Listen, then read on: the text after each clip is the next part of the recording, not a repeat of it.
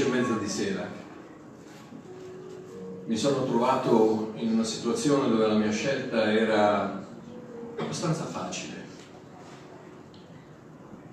perché o cambiavo o morivo.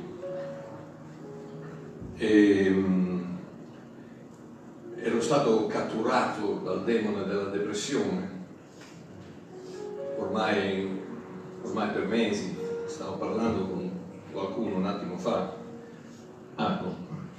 e stavo dicendo che nel momento in cui più ne avevo bisogno, il mio migliore amico mi ha abbandonato. E, e quando quando ti senti dire che il tuo nome non dovrebbe essere Mario ma Giona perché porti sfortuna a tutti e quando hai 160 milioni 160 mila euro di debiti nel 1982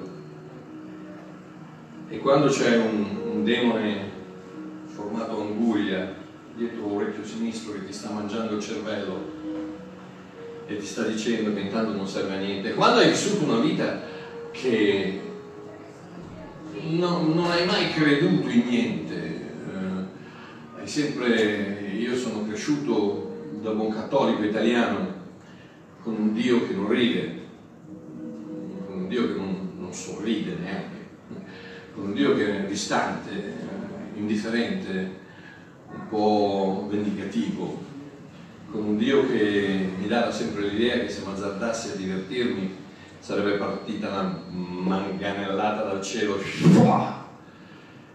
perché alla presenza del Signore c'è pienezza di tristezza, giusto? È vero? No, eh, non credo. Credo che la parola di Dio dica che alla presenza del Signore c'è pienezza di gioia. Eppure io sono cresciuto con quest'idea e probabilmente, probabilmente tanti di voi non avete mai incontrato un Dio che sorrideva, non avete mai incontrato un Dio che ti abbracciava anche perché probabilmente i nostri padri non ci hanno sorriso, i nostri padri non ci hanno abbracciato, i nostri padri non ci hanno mai detto sono fiero di te.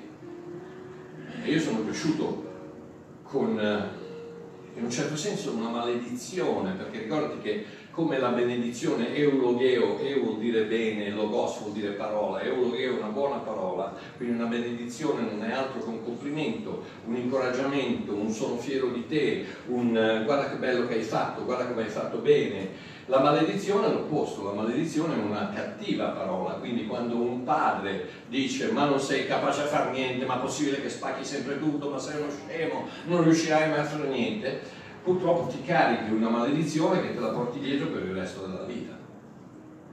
E se non interviene qualcosa di più potente, purtroppo quella maledizione ti rimane per tutta la vita. E quando arrivi sulla soglia di un qualcosa che vuoi ottenere, un qualcosa che stai lottando per fare, un qualcosa che ti, che ti chiama e che hai bisogno di, di avere successo, hai bisogno di... ti ricordi le parole di tuo padre che dicono sei capace a fare niente. Allora fai un passo indietro, un po', un po' timoroso, che chissà, magari ha ragione papà, che magari non riuscirò mai a fare niente. Quando lasci che quel tipo di pensiero ti guidi, pensate, pensate a quello che è successo a Paolo, a Paolo, a Pietro, quando, quando Gesù gli ha detto Pietro prima che Calo canti mi avrai rinnegato tre volte. E quella mattina il gallo cantò e Pietro lo rinnegò. Vi rendete conto che per il resto della sua vita, ogni volta che un, canto, che un gallo cantava, Pietro si ricordava del suo fallimento.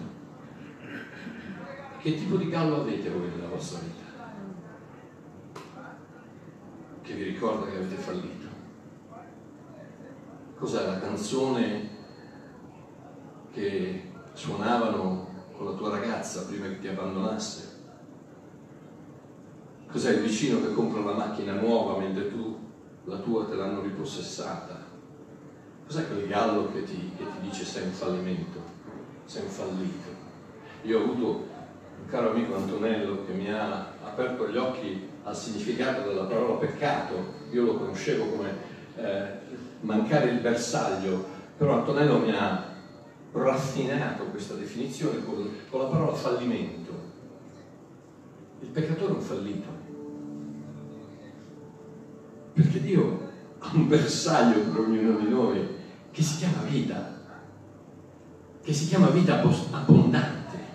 E se tu manchi quel bersaglio, sei un fallito. O potrai avere milioni di euro, potrai avere miliardi di euro, ma se manchi il bersaglio per cui Dio ti ha creato, sei un fallito.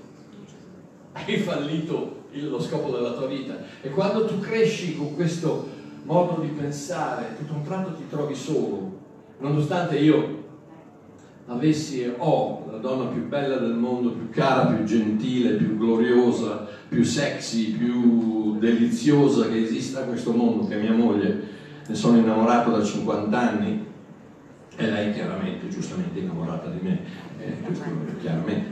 E, ehm, nonostante quello, io mi sono trovato da solo perché quando sei con te stesso e pensi di essere un fallito, sei solo. Non c'è nessuno che dice no, guarda che papà aveva torto. Non è vero, non sei un fallito. Dai, ce la puoi fare.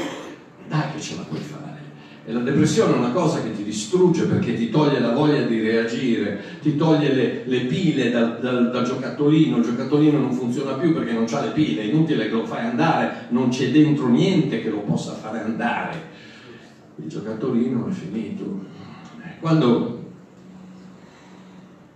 quando ti trovi in quella situazione, tutto quello che vuoi fare è cercare l'interruttore della tua vita dove puoi spegnere. E in qualche modo fermare il dolore.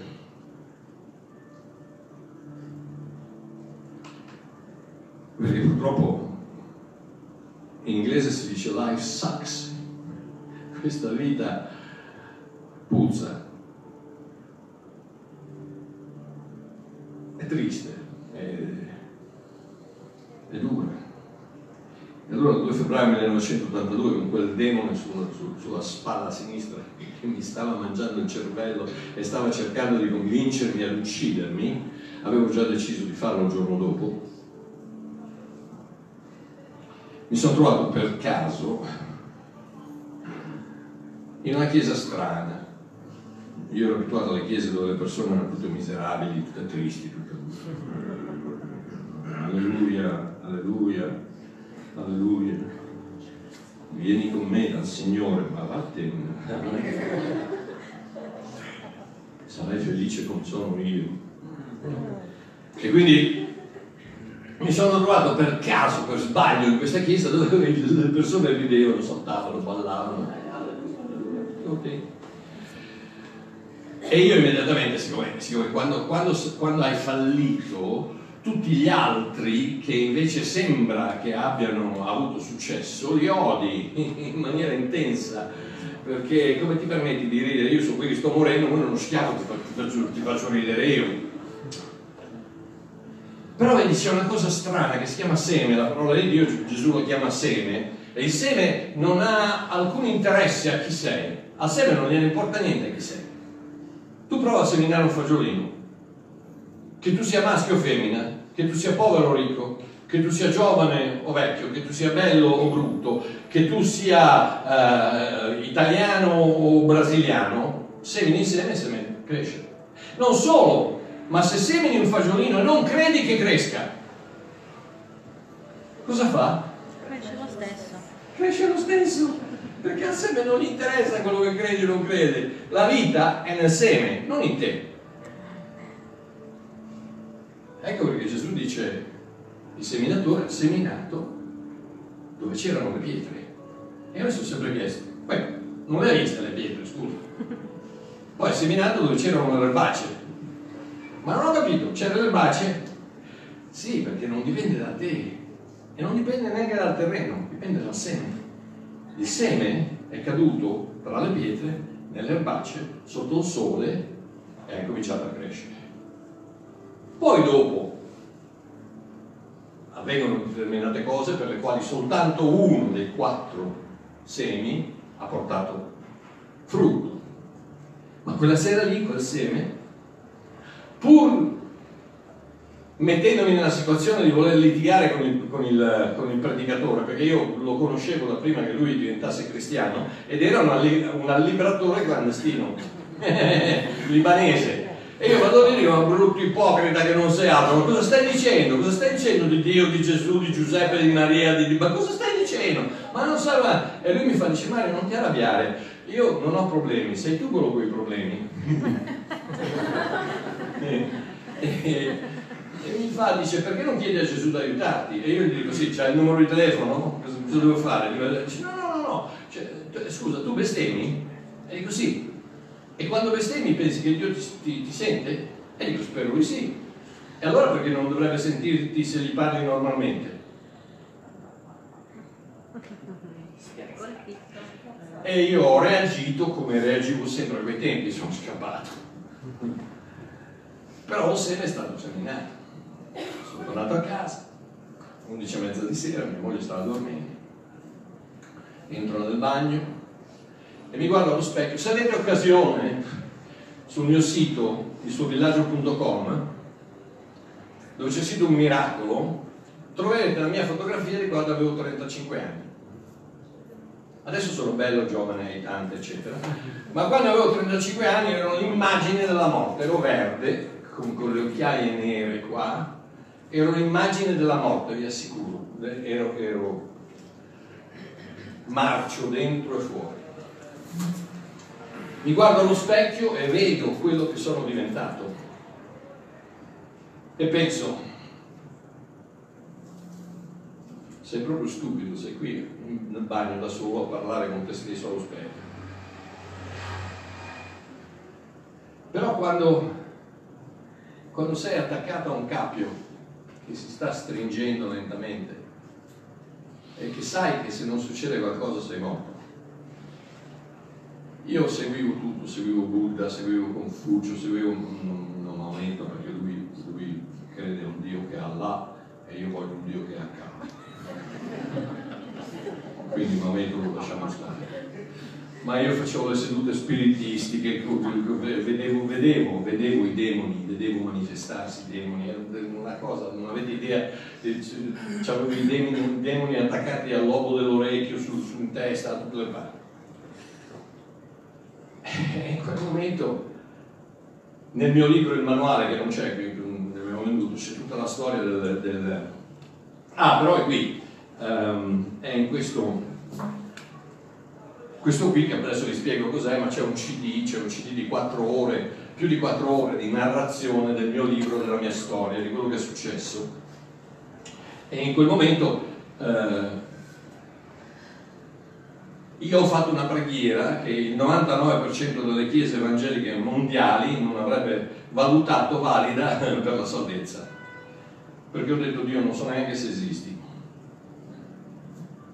ma se esisti aiutami perché da solo non ce la faccio. E vedi, adesso lo posso dire, è strano che non, non mi commuovo, perché di solito a, a, distanza di quasi 40 anni ancora mi commuovo, perché vedi, l'amore non, non muore mai. Il vero amore non muore mai. E quando tu ti innamori di un Dio che è vero, reale, non è una dottrina, non è un libro, la Bibbia non è Dio. La parola di Dio è Dio, è Cristo Giovanni 1.1, la parola di Dio è Cristo, Cristo è Dio. La parola non si è fatta carta, si è fatta carne. E adesso voi non lo vedete, ma dietro di me c'è un angelo che si chiama Big B, Big Brother, che è più o meno di questa altezza più o meno, che se azzardate a venirmi vicino eh, con uno sguardo un po' strano, eh, non vi garantisco la vostra sicurezza. Perché il mio Signore mi ama, mi ama disperatamente, mi ama a tal punto che un giorno il diavolo gli ha detto ma hai visto cosa ha fatto sto disgraziato? Ma ti bestemmia, racconta le barzellette sporche su di te, ti piglia in giro quando sei, quando sei sulla croce, ti, ti dice fa, ne fa di tutte di più, è un giocatore d'azzardo, eh, eh, vabbè, eh, altre cose, eh, ma, ma, ma, ma come, come ti permetti? E Gesù dice, uh, scusa, cosa, cosa deve fare? E deve pagare, deve pagare con la morte, perché il salario del peccato è la morte. E Gesù ha detto, sì, sì, non ti preoccupare, pago io.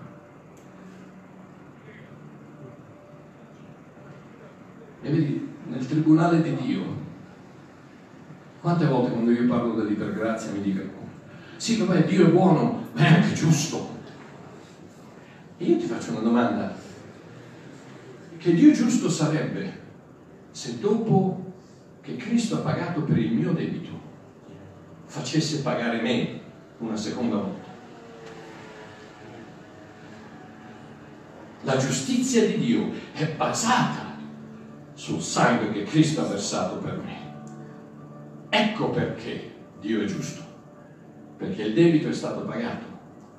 Paolo dice, non sono più io che vivo, sono stato crocifisso in Cristo e la vita che io vivo, la vivo per fede nel Figlio di Dio. Ricordatevi una cosa, che il fatto che Gesù, che Dio ha perdonato i vostri peccati, è solo metà del Vangelo. Dio ha perdonato i vostri peccati, senz'altro, ma quella è solo metà del Vangelo. L'altra metà è che siamo morti, sepolti, risorti in Cristo e adesso viviamo la vita di Cristo in noi. Quando Giuseppe ha accennato a Giovanni 3,16 la vita eterna, chi crede riceve la vita eterna, cosa vuol dire eterno? Chi è che mi sa dare una definizione di eterno? Non voi perché ve l'ho già detto. Chi è che mi sa dire cosa vuol dire eterno? Che non ha... Qualcuno ha detto non ha fine, ma qualcun altro ha detto non ha inizio e non ha fine. Non ha inizio e non ha fine, perché l'eternità, se dovesse iniziare, prima dell'inizio non sarebbe eternità. Quindi l'eternità, la vita eterna, non ha inizio e non ha fine. Chi è l'unico essere al mondo nell'universo che non ha inizio e non ha fine? È Dio. Quindi quale vita ricevi quando ricevi la vita eterna? La vita di Dio, la sua. Ecco perché non la puoi perdere. Ecco perché io mi arrabbio quando le persone dicono sì, vabbè, ma se ti comporti male, allora vita, Dio si ripiglia la vita eterna. E allora non è eterna, allora è temporanea. E allora non mi venire a dire che se credo in te mi dai la vita eterna. Dimmi, se credi in me ti do la vita temporanea, basta che continui a meritartela. E invece dico no. Dio dice ti do la vita eterna. E l'unica vita che è eterna è la sua. Quindi in te vive Cristo. Ecco l'altra metà del Vangelo.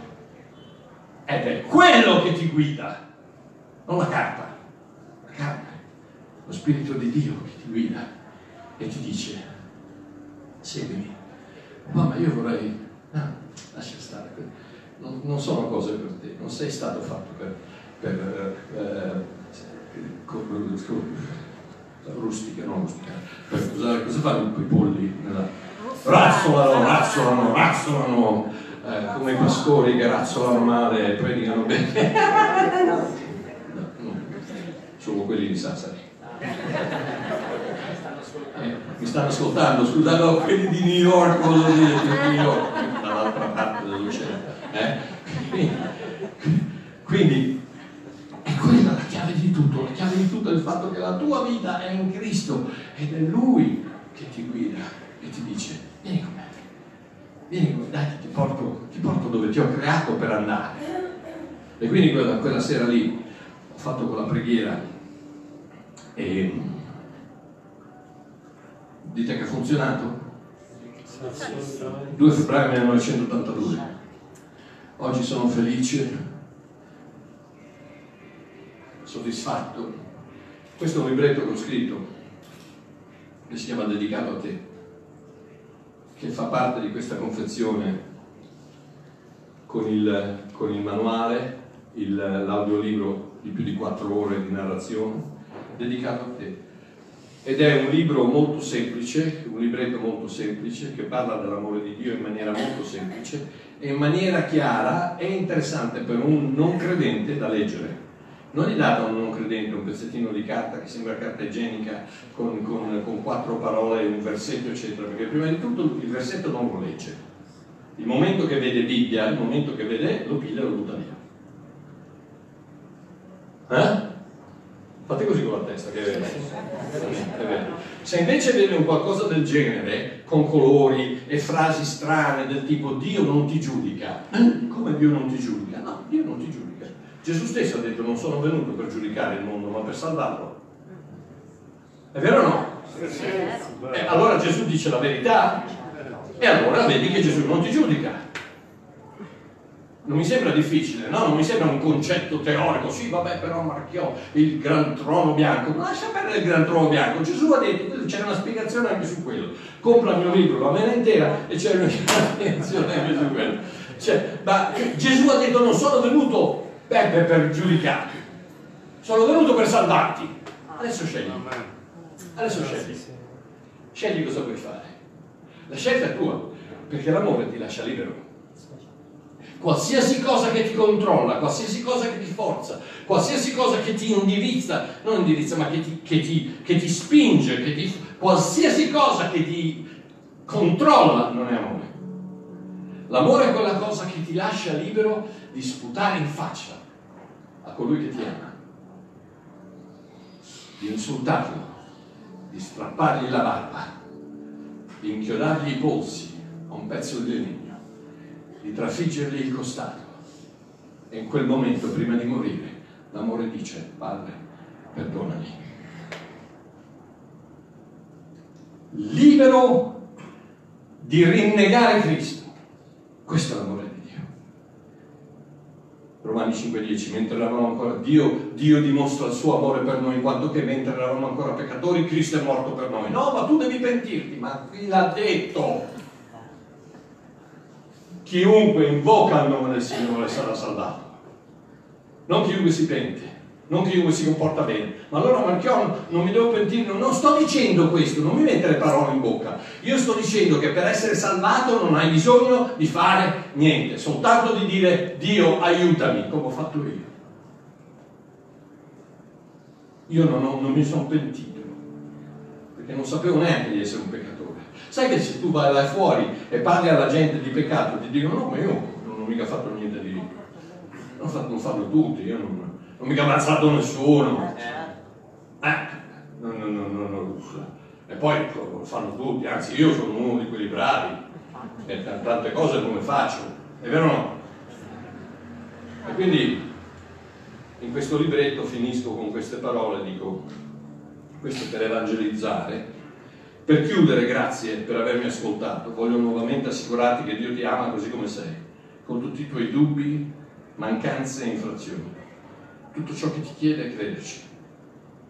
Quando a poche ore dal suicidio ho chiesto a Dio di aiutarmi, ho fatto questa preghiera. Dio non so neanche se esisti, ma se ci sei aiutami e farò qualsiasi cosa mi chiedi. Era lontano 2 febbraio 1982, oggi sono al sicuro, vivo, appagato e ultra felice. Dici che la mia preghiera ha funzionato? E chiudo con queste parole, perché non lo fai anche tu? E vedi poi se effettivamente sei il cristiano che ti dichiari di essere. Sei un seguace di Cristo. Dai quel libretto a un non credente. Questo questa è una confezione per quella persona speciale che tu hai nel cuore e che vorresti vedere, vedere accettare Cristo. Ecco perché c'è, c'è il CD e dentro c'è questo qui e c'è un altro libretto con 28 parabole alla Babbo Mario, storie semplici, raccontate in modo semplice, ma che ti parlano dell'amore di Dio se tu sei effettivamente un seguace di Cristo, una volta che gli hai consegnato quello, fai un passo indietro e ti fidi di Dio. Non continui a andare a scavare nel vasetto per vedere se il seme sta crescendo. Semini e ti fidi di colui che ha messo la vita in quel seme. Forse non succede subito, probabilmente non succederà nei prossimi cinque giorni, quasi senz'altro non succederà prossimi, nei prossimi tre mesi, ma ci puoi contare il seme seminato, guardato da Dio, prima o poi cresce e produce frutti.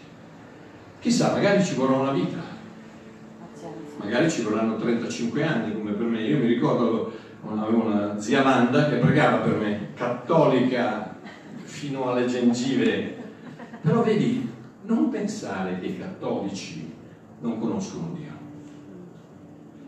Ci sono dei cattolici che conoscono Dio più di evangelici. Ci sono degli evangelici che non conoscono Dio. Conoscono il pastore, conoscono Benin, conoscono Guglielmo Maldonado, conoscono, ma Dio non lo conoscono.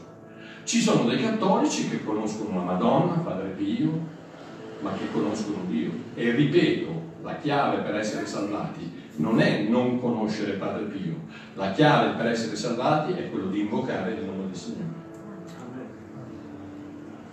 Ed ecco perché non giudicare mai nessuno. Deretta Babbo Mario, non giudicare mai nessuno. Perché papà non è contento quando altre persone giudicano i suoi figli. Quando Giovanni, l'apostolo dell'amore, nel Vangelo di Luca, è andato da Gesù, poi adesso predico, eh? Un attimo. Quando Giovanni è andato da, da, Gesù nel Vangelo di Luca, gli ha detto, Signore, Giovanni Segiliano, Giovanni, Signore, abbiamo trovato uno che scacciava i demoni e non fa parte del nostro gruppo. E io gli ho detto di non farlo. E Gesù, che lui è siciliano, giovanozzo. Cosa gli ha detto? Gli ha detto Giovanni, non dovevi farlo.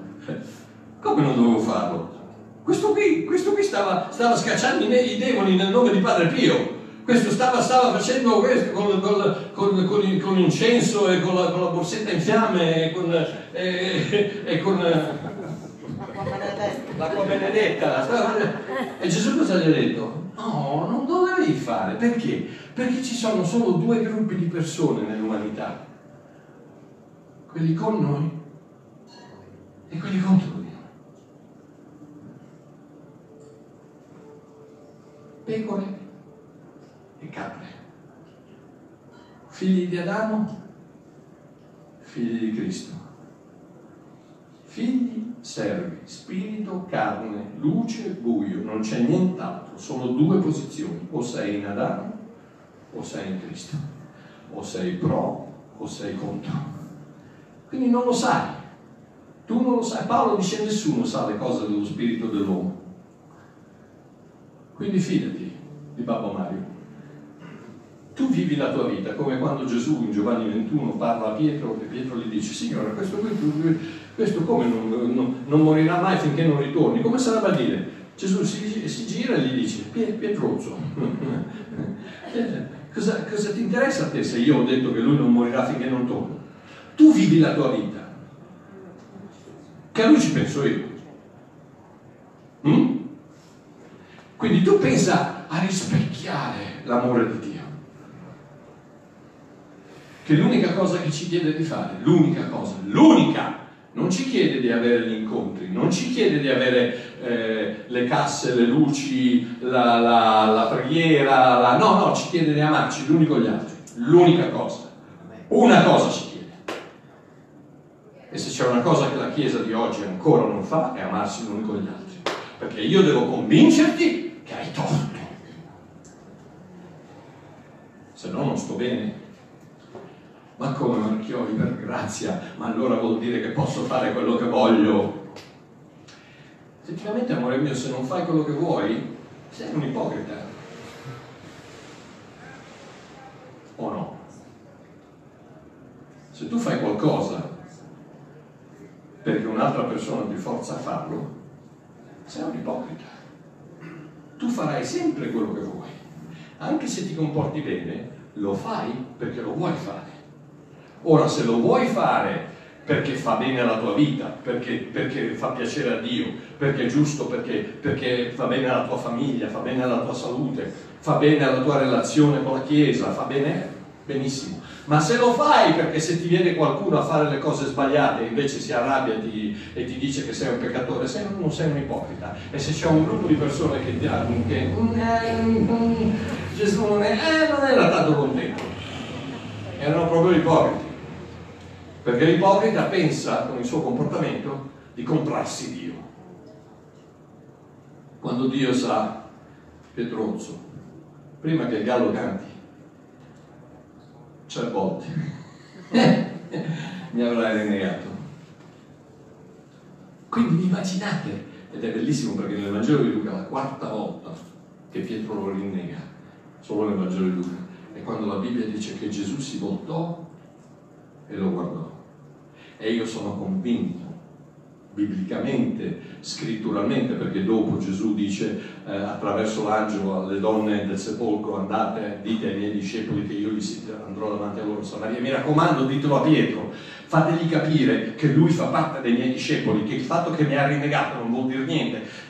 Pietruzzo, lascia stare il gallo, tiragli il collo al gallo, lascia quella, quella cosa che ti ricorda del tuo fallimento, buttala via, distruggila, mandala via una volta per sempre, perché io, Gesù Cristo, non ti reputo fallito.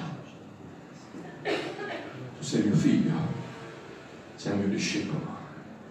E io vado davanti a te in Samaria aspettando che tu arrivi per poterti dire vai a pascere i miei agnelli, Pietro. Vai a portare il mio nome in tutte le parti del mondo.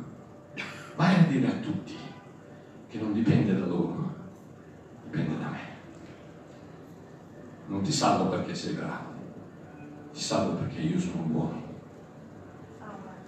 E tutto quello che devi fare, devi accettare la mia salvezza. E basta.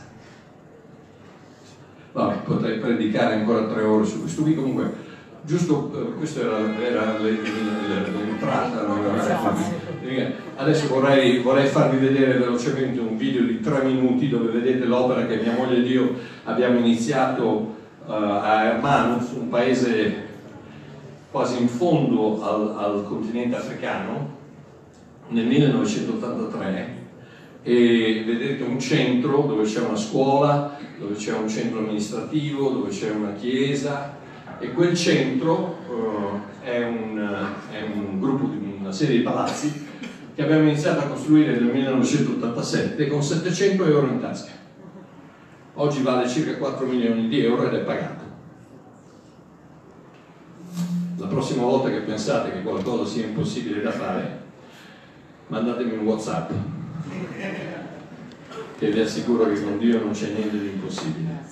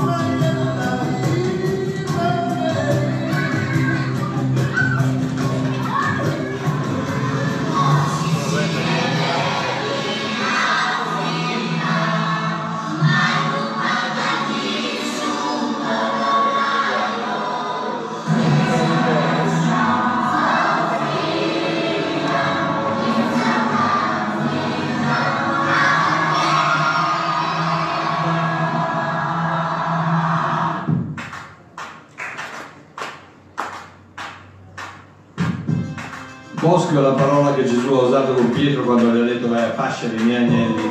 E quello è il mandato che Gesù ci ha dato Bosco, pasci i miei agnelli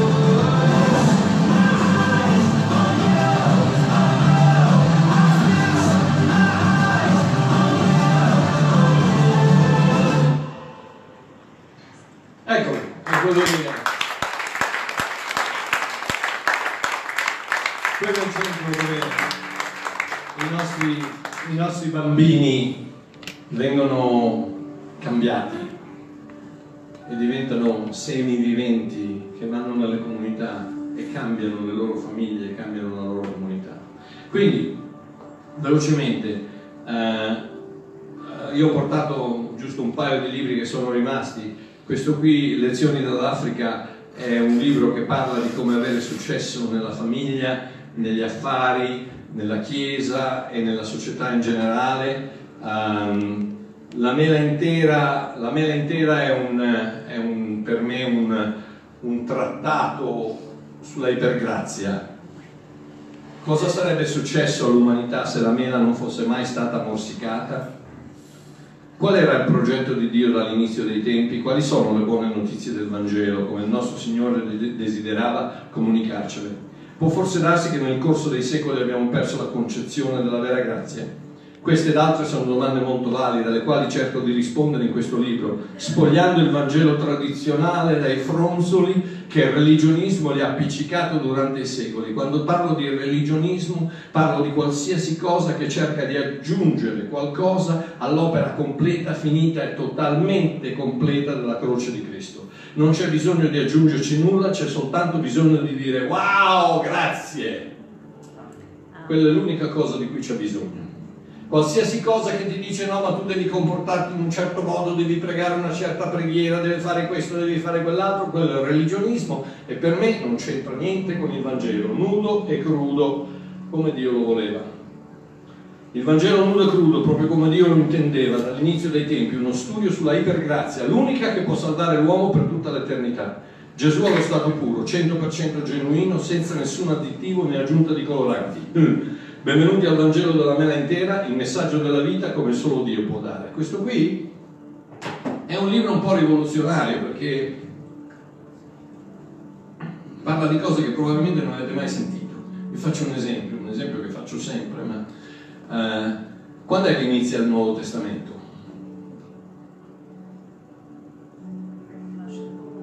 Cinque euro che mi dà la risposta giusta. Prego? Quando termina il quando termina lei, che bravo, è giorno o, notte? E guarda fuori.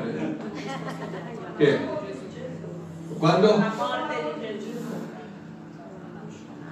Ma se tu apri la tua Bibbia, troverai a Matteo capitolo 1, versetto 1, giri la pagina e c'è scritto Nuovo Testamento. No, perché un testamento non inizia quando una persona nasce, un testamento inizia quando una persona muore. Tant'è vero che Vangelo, nella lettera agli ebrei, eh, l'autore della lettera agli ebrei dice chiaramente un Vangelo non ha nessuna, nessuna rilevanza finché la persona che ha fatto il Vangelo è viva. Entra in funzione soltanto alla sua morte. Ecco perché Gesù sulla croce ha detto tutto è compiuto. E in quel momento, quando ha dato la sua vita, quando ha ispirato lo Spirito di Dio che è uscito da Dio, il velo si è che da Cristo il velo si è spezzato dall'alto in basso, significando che è un'opera divina, un'opera spirituale, non dell'uomo, non dal basso in alto, ma dall'alto in basso. Hanno tem dall'alto spezzato un, un, un, un velo che era, era, quasi 20 cm di di spessore, spezzato divinamente. Dio esce, lo Spirito di Dio esce dal luogo santissimo ed entra in chiunque gli apre la porta. Ci sono alla tua porta, busso se mi apri la porta vengo a mangiare gli spaghetti alle cozze con te. Vengo a mangiare o puccetto. Cioè no, ma che ho come puccetto? Gli ebrei non mangiano, amore mio. Stai, peggio per loro, bravo. Devi stare attento perché quando parli di peccato non parli solo di adulterio, assassinio, bugie, no, quelli sono i dieci comandamenti fra il, fra il, libro, fra, fra il Levitico, l'Esodo e il Deuteronomio ci sono ben 613 comandamenti che sarà meglio che tu ubbidisci, se no Giacomo dice nella sua lettera quando sbagli nella più piccola parte della legge è come se tu avessi sbagliato per tutto. Quindi se tu mangi un porcetto, all'inferno, subito. Ma neanche un porcetto, una fetta di salame. Una fetta di salame, le cozze, non puoi mangiare niente che esce dal mare che non abbia scaglie. Il polpo, scordatelo. Gli spaghetti e le vongole, scordateli. Cioè, no, ma Marchio, ma quelle erano, erano leggi tradizionali. No, amore mio, quelle erano leggi. Quelle erano leggi, leggi che tu dovevi ubbidire. Ed è per quello che Gesù è venuto e ha detto, ragazzi, agli ebrei, perché i Vangeli sono, sono, sono parole de, dirette ad Israele. Gesù stesso lo dice nella Bibbia, leggete la Bibbia, Gesù stesso dice nella Bibbia, non sono venuto che per le, per le pecore perdute della casa di Israele. Gesù lo dice, non sono venuto per voi gentili, stava parlando con la donna sirofenicia, non sono venuto per te, sono venuto per le pecore perdute della casa di Israele. Quando dice ai suoi discepoli di andare a predicare il Vangelo, dice andate nelle case non dei gentili, non entrate nelle case dei gentili, entrate soltanto nelle case delle pecore perdute della casa di Israele. Paolo dice quando al momento giusto Dio ha mandato suo figlio, l'ha mandato per ministrare sotto la legge a coloro che erano sotto la legge. Chi è sotto la legge? Non noi, gli ebrei. Gesù è venuto per ministrare agli ebrei ed ecco perché in, in, in Matteo 5, 6 e 7 Gesù dice delle cose pazze come se la, mano, la, la tua mano ti fa peccare, tagliatela. Dovremmo essere tutti come moncherini qui, tutti dal primo all'ultimo. Però meno male che puoi peccare solo due volte. Poi, poi se pecchi con gli occhi devi cavarti l'occhio altre due volte. E poi sei fatto, poi basta perché non c'è bisogno, poi vai in giro così, no? E poi dice una cosa, una cosa stranamente pazza che nessuno, nessuno Giuseppe, nessuno, nessuno ci predica, nessuno, nessuno ci, ci passano sopra. Uh. Sai cosa dice Gesù? Dice siate perfetti, come vostro Padre nei cieli è perfetto. E becca di questa. E vedi un po', vedi un po' se ce la fai. Sapete per quale motivo Gesù parlava così? Perché stava cercando di far capire a Israele che senza il Messia la legge non ce la fa, non ti salva. La legge non è stata data per salvarti, la legge è stata data per, farti, per puntarti a Cristo. La legge è stata data per farti vedere che senza di lui non puoi sopravvivere. Ma noi, noi un'altra cosa che troverete nel, nel mio libro è la pazzia del pregare il Padre nostro. Marchiò come? La pazzia di pregare? Sì, il 95% dei cristiani in tutto il mondo pregano il Padre nostro e se vi chiedo di alzare la mano lo fate anche voi, tutti da primo all'ultimo, Padre nostro che sei in cielo. Vero? Adesso vi faccio una domanda. Siete sicuri che volete che Dio vi perdoni come voi perdonate gli altri? Siete sicuri di voler chiedere a Dio perdona me come io perdono quelli che hanno peccato contro di me? Davvero? Davvero volete chiederlo? Io dico di no, io non glielo chiedo. Io invece gli dico perdona me come tu perdoni me. lascia perdere me perché io non sono capace a perdonare gli altri. Tant'è vero che Paolo sia ai Colossesi che agli Efesini cosa dice? Perdonatevi gli uni gli altri come Dio in Cristo ha già perdonato voi. Ma noi cosa facciamo? Eh no, no ma Marchiò lui non voleva dire quello. Ah ok, non voleva dire quello perché tutti i religionisti cosa fanno? Pigliano la legge e la tagliano a fettine, no? Allora questa qui la teniamo, questa no questa mi piace, questa no. Allora, non commettere adulterio, quella la teniamo perché va bene. Però rispetto al sabato, eh no, perché se accendo la televisione, pecco, e il sabato c'è la partita, eh, io come faccio? Eh, scusa signore, allora uno dei, uno dei, nove, uno dei dieci comandamenti ce lo dimentichiamo il sabato, lascia perdere, eh, eh c'ho, da, c'ho, da, controllare le mail, c'ho da fare Whatsapp. Il momento che tu accendi televisione agli occhi di Dio, tu hai, hai lavorato, hai peccato, hai disobbedito il sabato. Quindi, ragazzi, rilassatevi, fate così, uno, due, tre. Dai, uno, due, tre. Dite come e che bella cosa. È una buona notizia, non è una cattiva, è una buona notizia. E quando Gesù ti dice, ragazzi, volete essere perfetti, perché io vi dico se non siete perfetti, in cielo non ci andate. Leggete la lettera agli ebrei, capitolo 10, versetto 14, con una sola offerta. lui ha reso perfetti tutti coloro che lui ha santificato. Voce del verbo, aver reso perfetto, aver santificato. Passato, fatto, finito, compiuto. Ma queste sono cose che se non te le dico, chi di voi sapeva che non dovevi pregare il, Padre nostro? Nessuno, giusto? Perché non l'ha mai detto nessuno, tu lo sapevi perché hai detto. Ho visto una sua cosa, Hai visto il mio video? Eh, ma hai capito, hai capito che il, no- il 99% forse dei cristiani chiedono a Dio perdona me come io perdono a quel disgraziato che mi ha tagliato la strada in macchina o a zio Peppino che si è fregato l'eredità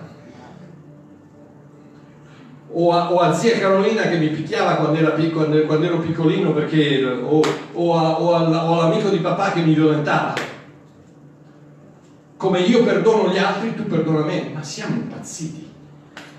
Siamo impazziti.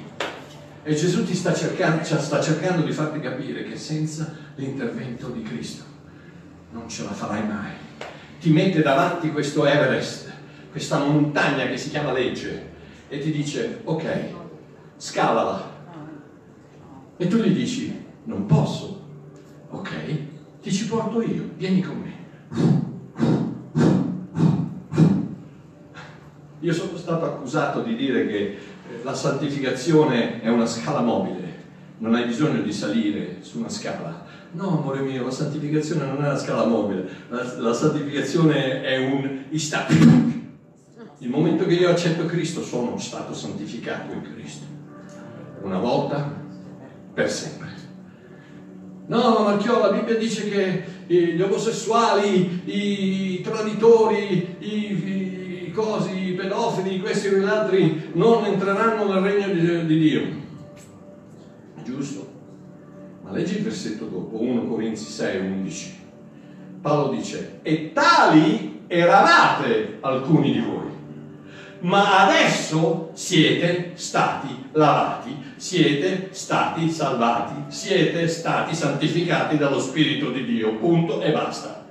Lo eravate, ma adesso non lo siete più siete stati santificati. L'opera di Cristo è totale, completa, istantanea, copre l'eternità dall'inizio alla fine.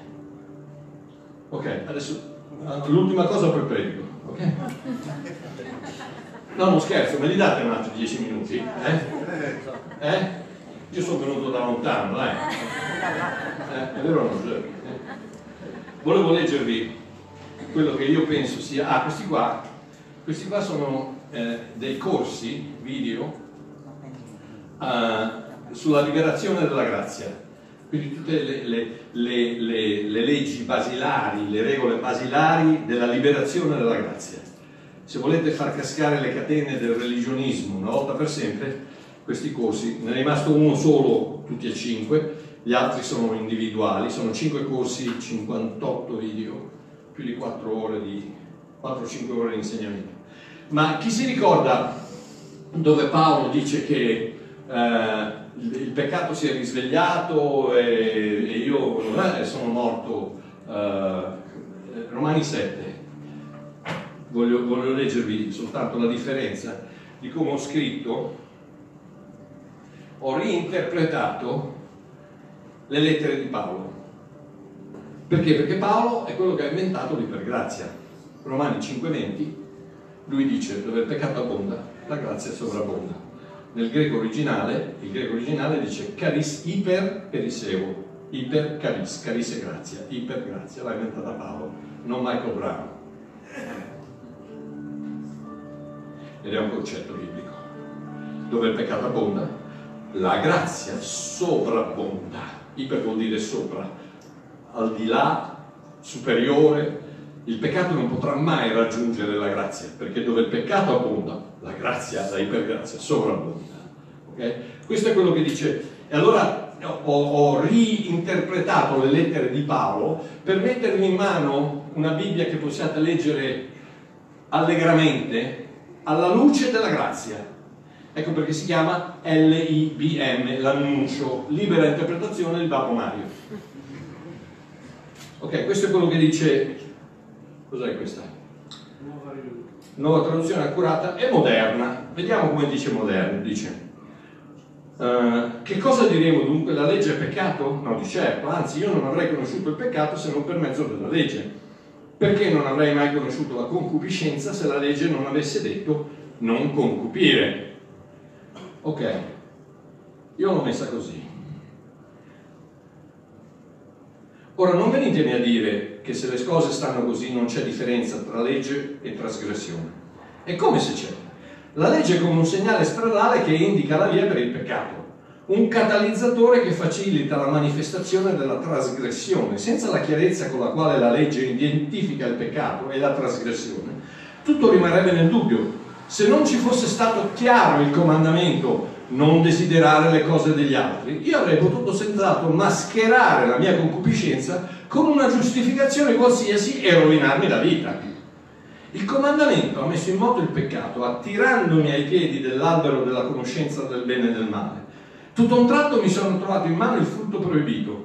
Proibito da cosa? Dalla legge. La legge ha svegliato il can che dorme. Quello mi ha visto, mi ha inseguito e mi ha zannato la gola. Pensate a un bambino non ha alcuna colpa fino al momento in cui si rende conto coscientemente che ciò che vuole fare è vietato e lo fa lo stesso. In quel momento il suo spirito muore e la storia di Adamo si ripete un'ennesima volta. Quello che doveva essere portatore di vita è stato invece causa di morte. La legge è giusta, i comandamenti sono giusti, buoni e validi. È quello che ci faccio io con quella legge e con quei comandamenti che crea il problema. Okay. Quindi come vedete, è un modo di, di, presentare la Bibbia e di leggerla, che io vi assicuro, incominciate a leggerla, non la mettete giù, vi, vi fa piacere leggere la Bibbia, si chiama l'annuncio ed è là. Ok, ho finito, finito il carosello, adesso predichiamo. Giovanni capitolo 5. Siccome i Vangeli ancora non li ho fatti, non posso leggere dalla versione dell'annuncio. Giovanni capitolo 5.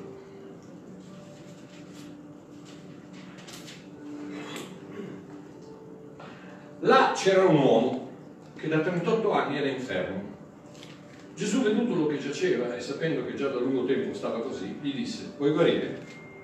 L'infermo gli rispose, Signore, io non ho nessuno che quando l'acqua è mossa mi metta nella lasca, e mentre ci vengo io, un altro scende prima di me.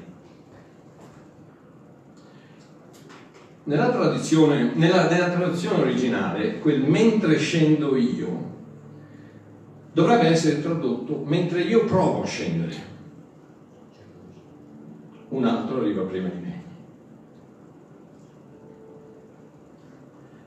Posso chiedervi di fare una cosa che non faccio mai, ma guardate una persona che vi è simpatica e ditegli questo, credimi, ci sto provando. Dai, guardate qualcuno e ditele, credimi, ci sto provando.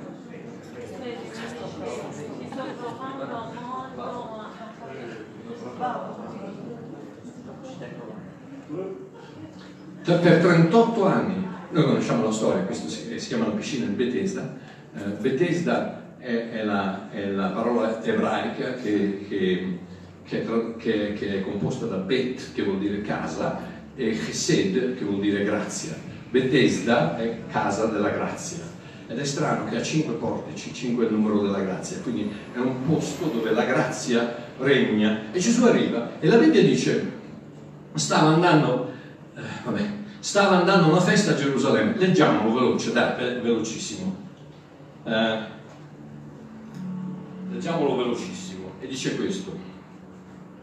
Giovanni 5, eh, dopo queste cose ci fu una festa dei giudei e Gesù salì a Gerusalemme. Ora a Gerusalemme, presso la porta delle pecore, c'è una vasca chiamata in ebraico Betesda, che ha cinque portici. Sotto questi portici giaceva un gran numero di infermi, di ciechi, di zoppi, di paralitici, i quali aspettavano l'agitarsi dell'acqua, perché un angelo in determinati momenti scendeva nella vasca e agitava l'acqua, e il primo che vi scendeva, dopo che l'acqua era stata agitata, era guarito di qualunque malattia fosse capito. Là c'era un uomo che da 38 anni era infermo, Gesù vedendolo che giaceva, e sapendo che già da lungo tempo stava così, gli disse, vuoi guarire? L'infermo gli rispose, Signore, io non ho nessuno che quando l'acqua è mossa mi metta nella vasca e mentre provo ad andarci un altro vi scende prima di me. Gesù gli disse alzati, prendi il tuo lettuccio e cammina. In quell'istante quell'uomo fu guarito e prese il suo lettuccio e si mise a camminare. Quel giorno era un sabato. Oh, cosa succede? Succede che Gesù c'è una festa. Con i suoi discepoli sta andando alla festa. Tutto un tratto si ferma e vede te. Nel suo cuore vede te che hai bisogno di lui. E non va alla festa. Si ferma e dice ai ragazzi, scusatemi un attimo, devo andare a trovare una persona che ha bisogno di me. Una persona che non gli ha chiesto niente. Una persona che non si meritava che lui andasse. Perché quando i farisei gli chiedono chi ti ha guarito, lui dice, non lo so. Non conosceva neanche Gesù. Questo per distruggere un attimo il religionismo che Gesù parla soltanto a quelli che se lo meritano a quelli che glielo chiedono, a quelli che si comportano bene, a quelli che profumano di, di profumo di rosa, a quelli che non puzzano mai, a quelli che... Eh, ditelo al padre del figlio prodigo, quando è tornato a casa il figlio prodigo carico di porcetto. Il padre gli è corso addosso e se l'è abbracciato. Se l'ha abbracciato perché? Perché il tuo peccato non fa paura a Dio. E quindi Gesù sta andando a questa festa, tutto il tratto si ferma e dice, c'è qualcuno che ha bisogno di me. Voi andate pure avanti, adesso arrivo. E scende in questa piscina. Siete mai stati a Israele? C'è nessuno che è stato a Israele? Nessuno? Ok. A Israele c'è questa piscina che si chiama Bethesda, che non è una piscina dove ti portano il, il bicchierino con un ombrellino sopra e la fetta di ananas, ok? È una piscina che eh, è un, una decina di metri profonda, con queste vasche in fondo, e questi cinque portici a fianco dove lì si radunavano tutti questi, questi malati. E l'idea era che a un certo momento arrivava, arrivava un angelo dal cielo e smuoveva l'acqua. E il primo che arrivava quando l'acqua si muoveva veniva guarito. Quindi vi immaginate, c'erano ciechi, c'erano zoppi, c'erano paralitici. Quelli che non sarebbero mai riusciti ad arrivare, chi erano? I paralitici. Perché il cieco ancora ancora lo zoppo ancora ancora, ma il paralitico anche se, anche se riusciva in qualche modo ad arrivare vicino alla piscina, qualcuno senz'altro lo pigliava, tu, tu, tu ritorna là che, che qui ci sto io. Tu dicevi ma che pazzia, no, no, no, amore mio, ancora oggi, ancora oggi stai aspettando che l'angelo arrivi e scuola l'acqua. Stai aspettando che arrivi, che arrivi l'apostolo da, dal Messico o l'evangelista dall'America, perché sei lì da 38 anni. 38 anni che stai aspettando una risposta. 38 anni che stai, pre- stai pregando per tuo marito. 38 anni che stai aspettando che i tuoi figli in qualche modo mettano la testa a posto. 38 anni che speri che quella malattia che ti è stata diagnosticata se ne possa andare. 38 anni che ne hai viste di tutto e di più. Sono venuti ciarlatani, hanno cercato di venderti l'acqua santa. Ti hanno detto guarda, dammi 50 euro e come arriva l'angelo ti assicuro, ti piglio e ti porto io. Dopo mi puoi dare il resto, ma intanto comincia a darmi 50 euro e sono arrivati i ciarlatani, sono arrivati di tutto, sono arrivati gli imbroglioni, sono arrivati... Immaginate quest'uomo, 38 anni, quanti anni aveva Gesù quando questo è successo? 33. Questo qui era rimasto paralizzato e ricordatevi una cosa, che non c'erano servizi pubblici. Non voglio che vi soffermiate troppo a lungo su questa idea, ma un paralitico che per 38 anni è rimasto fermo, molto probabilmente si trova in un mare di,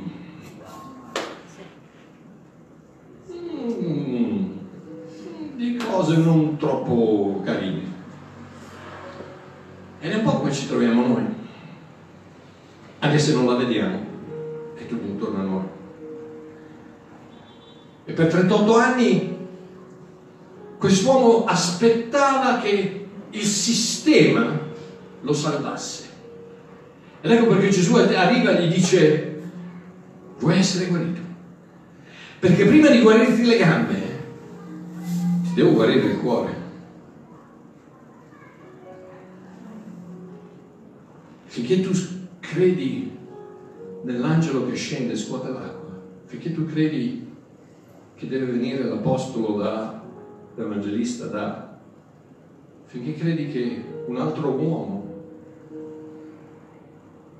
deve imporre le mani su di te, finché credi che devi digiunare o devi pregare, non, non fraintendetemi, non c'è niente di sbagliato nel digiunare, nel, nel, pregare, nel, sto dicendo che quello non ti conquista l'amore di Dio. Non, sei quello che, non è quello che tu fai che muove la mano di Dio. L'unica cosa che muove la mano di Dio è l'amore di Dio che è per te. Quello muove la mano di Dio. Marchio come fai a dirlo? È facile, guarda, non è quello che fai che muove la mano di Dio è l'amore di Dio che muove la mano di Dio. Perché? Perché questo qui non aveva un grammo di fede, anzi aveva la fede negativa.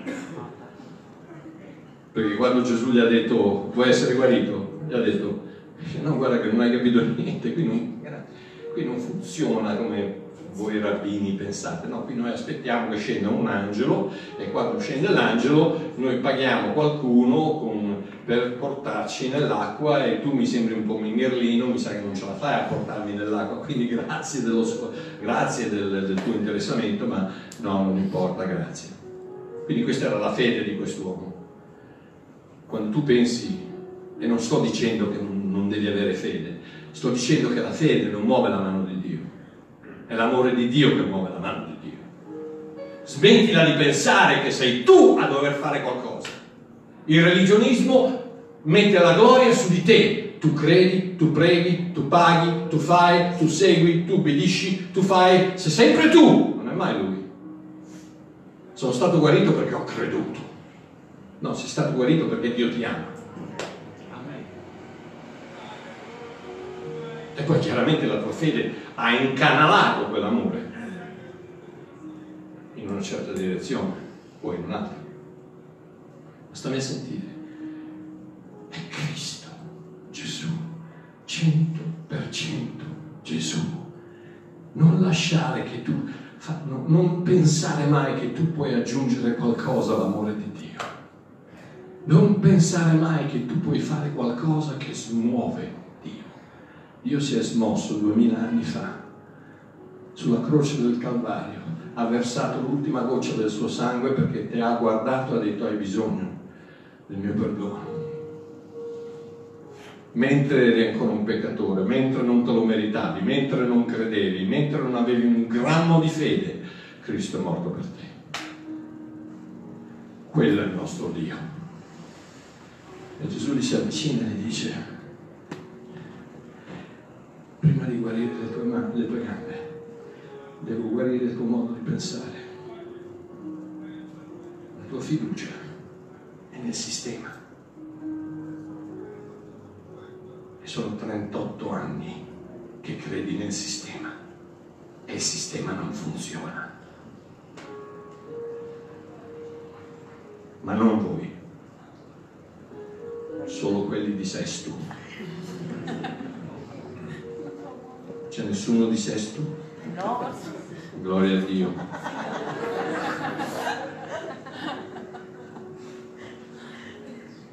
E noi andiamo avanti, andiamo avanti, 38 anni.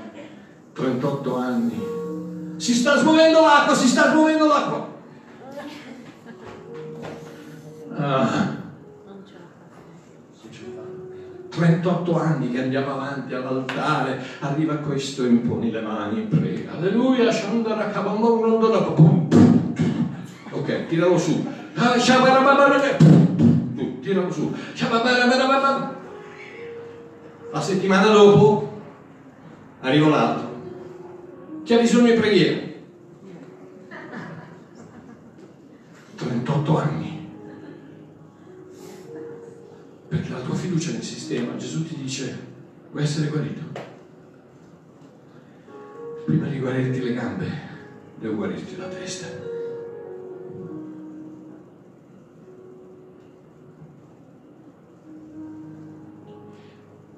storia ti, ti blocca, ti incatena. Sono 38 anni, non ci credi più. Pensi di crederci, ma non ci credi più. Il prossimo che arriva, vai meccanicamente, vai perché è quello che devi fare. Ma dentro di te è scattato qualcosa, 38 anni, è scattato qualcosa che dice anche quando si muove, si muove l'acqua intanto. E Gesù ti guarda stasera e ti dice, non ti devi fidare del sistema, ti devi fidare di me.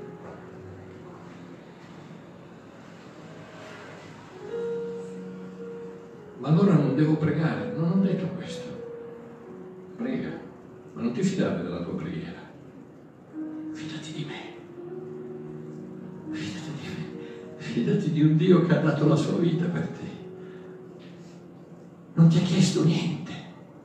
Niente. Non ti ha chiesto di crederci, non ti ha chiesto di, di pregare, non ti ha chiesto di fare niente. Prima ha pagato il tuo debito poi ha fatto un passo indietro e ha detto adesso se vuoi sei libero. E quel Dio pensi che voglia che tu aspetti il muoversi dell'acqua? E possono essere 38 anni, possono essere 38 giorni, possono essere 38 minuti. Ma Babbo Mario stasera è venuto a dirti fidati di, fidati di Cristo, non fidarti del sistema, fidati di Cristo. E quando ti fidi di Cristo entri in quella potenza che si chiama riposo,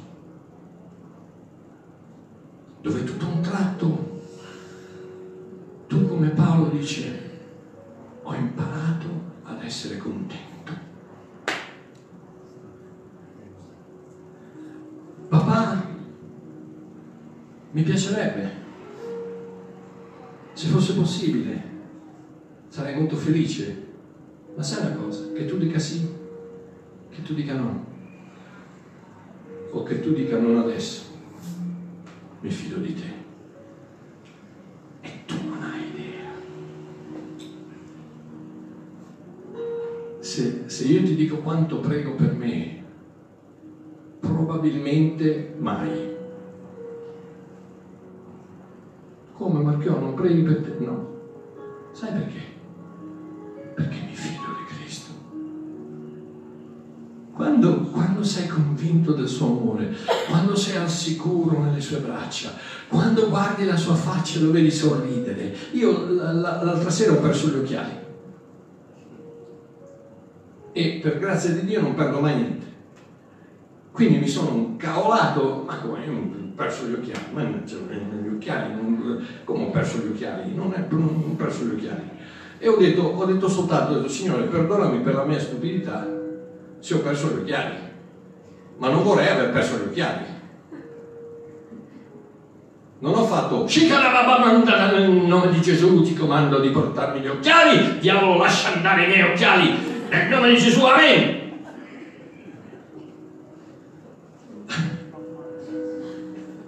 Ho detto, perdonami se sono stato stupido da buttare gli occhiali da qualche parte che non mi ricordo dove l'ho messi, scusa, aiutami a ritrovarli.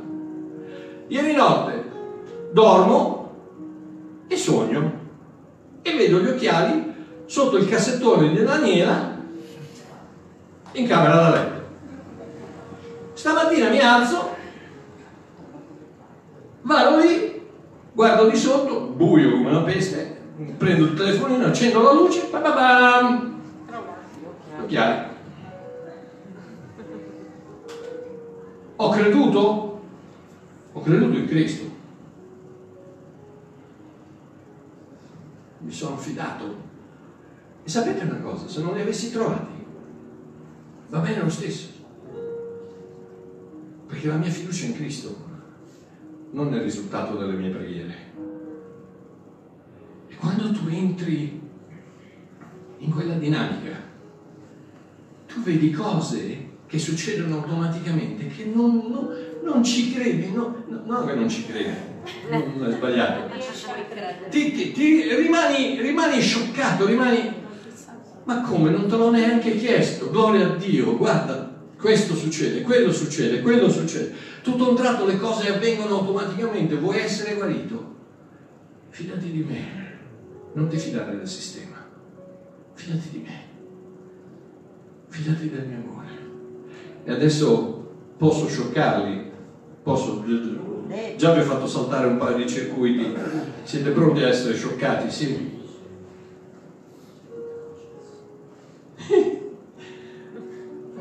Gesù gli dice, piglia il tuo lettuccio e cammina.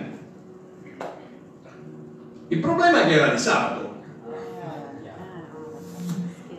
Quindi Gesù dice al paralitico, ti subbidisci la legge. E mo come la mettiamo? Se non prendi Cristo e lo metti sopra la legge, sopra la tua obbedienza, sopra la tua devozione, sopra tutto quello che tu puoi contribuire, se non prendi Cristo e lo metti al di sopra, sei fatto, sei cotto. Perché Gesù ha detto al paralitico, prendi il lettino e disubbidisci al comandamento del sabato.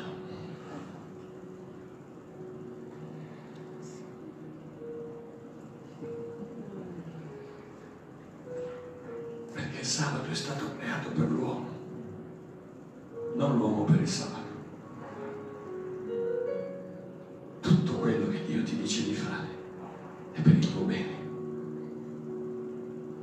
E se per il tuo bene, no- non fraintendetemi, non mettete parole che non dico, ma vi ho dato la prova biblica che Gesù ha detto a quell'uomo, disubbidisci la legge. Se per il tuo bene Dio dovesse dire disubbidisci la legge, la legge è stata creata per il tuo bene, non tu per la legge. Al di sopra della legge c'è l'amore di Dio. Adesso non andate a cercare scuse per, ah me l'ha detto Dio che devo fare questo, questo. no, no, quelle sono scemate. Quello che sto dicendo è che l'amore di Dio sopra, sopra cosa, sopravvalica, sopra, sopra cosa, tutto quanto. Anche la sua legge. E la prova biblica è quella. Gesù gli ha detto prendi il tuo lettuccio e cammina, al punto che i farisei volevano ucciderlo, volevano uccidere Gesù. E immaginate il paralitico? L'unica cosa che ha fatto, ci ha creduto.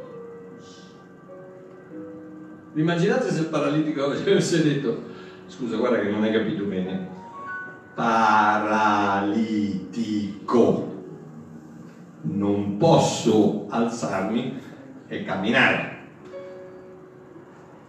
C'è un momento in cui tu devi decidere di chi ti fidi, di te, delle tue circostanze, delle tue opere buone, del tuo pregare, del tuo digiuno, del tuo- o della semplice parola di Dio che dice ti amo, ti salverò, ti aiuterò, porterò a casa tuo marito, porterò a casa i tuoi figli, salverò la tua famiglia. E quella è l'unica decisione che devi prendere. Se ti fidi di lui o no. E se ti fidi di lui, fidati di lui. Se dice no, dice no. No, ma perché Dio non dice mai di no? Ah, vero. Gesù nel giardino del Getsemani cosa gli ha detto? No? Ah, papà, se c'è un altro modo per poter bere questo calice. Dio ha detto, no, non c'è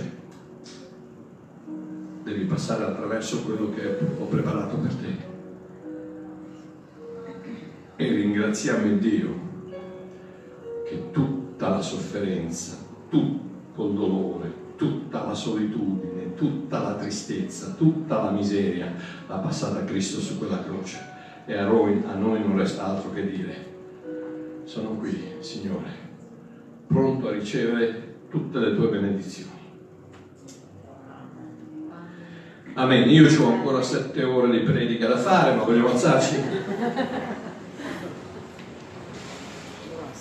Spero di avervi sconvolto abbastanza da creare una reazione. La prossima volta che Gesù viene dice vuoi essere guarito? Non ti fidare del sistema. fidati di Dio, fidati di Gesù, fidati di colui che ti ha valutato così enormemente da mettere la sua vita sul piatto della bilancia e la tua su quell'altro. Non sei tu che devi attaccarti alla salvezza e tenere saldo. È Lui che ti prende e ti tiene nella sua mano e dice nessuno potrà mai togliermi dalla mia mano.